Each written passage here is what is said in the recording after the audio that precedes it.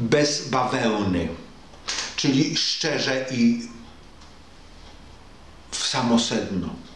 Kochani, od wielu lat zajmuję się czymś takim, co się nazywa pochwica.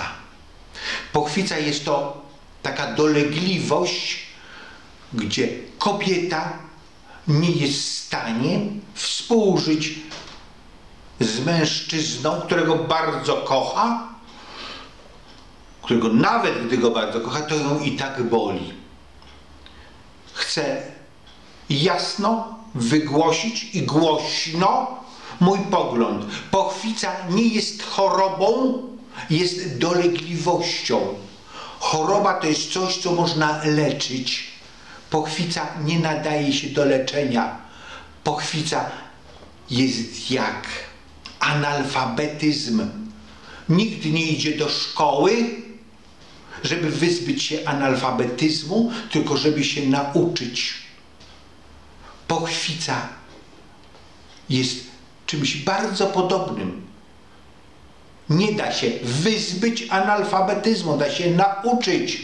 Nie da się wyzbyć nieumiejętności, bo jeżeli ja chcę się wyzbyć czegoś, czego nie mam, to i tak nic nie osiągnę. Da się nauczyć, współżyć.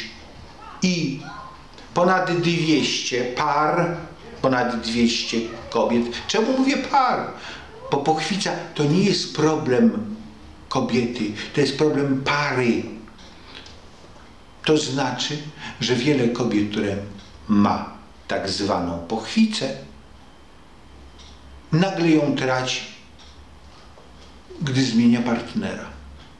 Nie wszystkie, ale wszystkie, które trafiły do mnie, a było tego już ponad 200 sztuk,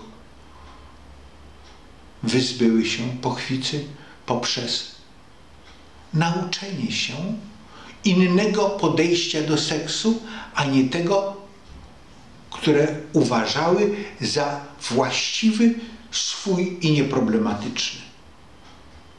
I to byłoby na tyle, jeżeli chodzi o pochwica numer jeden.